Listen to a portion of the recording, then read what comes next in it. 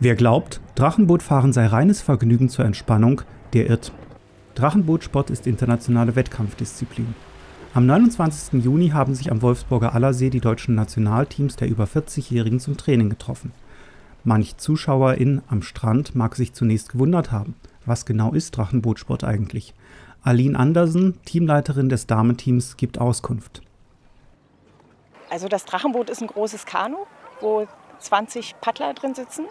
Zehn linke, zehn rechte, eine Trommlerin und ein Steuermann. Wozu braucht man eine Trommlerin an Bord, damit es nicht langweilig wird? Die gibt den Rhythmus an und äh, erklärt die Strukturen, zählt. Was waren die Trainingsschwerpunkte für die Einheit auf dem Allersee?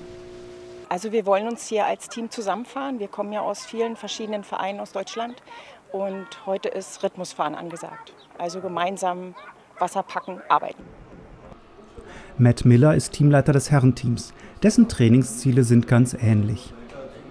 Ja, also das Trainingsziel ist natürlich zueinander zu finden, da wir aus vielen Vereinen äh, aus der ganzen Bundesrepublik kommen und äh, hier dann nochmal den, den, äh, den Willen zu entwickeln, einfach zu siegen. Ein großes Team, das präzise aufeinander eingespielt sein muss. Dazu wurden die Trainings auf dem Allersee auf Video aufgezeichnet und im Anschluss dann per Videoanalyse ausgewertet. Das alles dient der Vorbereitung auf anstehende internationale Wettkämpfe. Also wir bereiten uns direkt auf die Weltmeisterschaft in Thailand vor. Okay, wann ist die? Die ist im August. Okay, ähm, ist es die letzte allgemeine Trainingseinheit vorher oder gibt es dann noch? Nein, wir werden uns jetzt alle zwei Wochen treffen bis Mitte August und dann wollen wir eine Medaille gewinnen. Ist das immer hier am Allersee oder werden Sie sich auch anders betreffen? Nein, wir treffen uns also in ganz Deutschland an verschiedenen Orten und äh, machen es somit jedem mal recht, äh, weil wir gesagt äh, aus verschiedenen Teilen der Bundesrepublik kommen.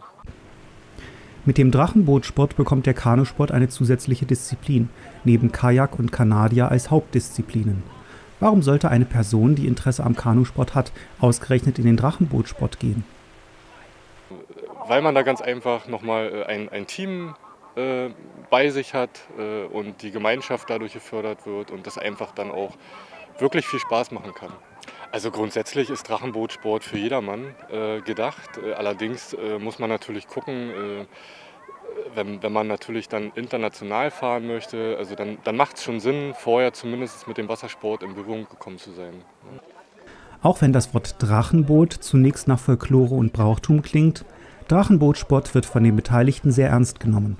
Und es ist womöglich eine der Wassersportarten, die am meisten darin trainieren, im Team zu arbeiten.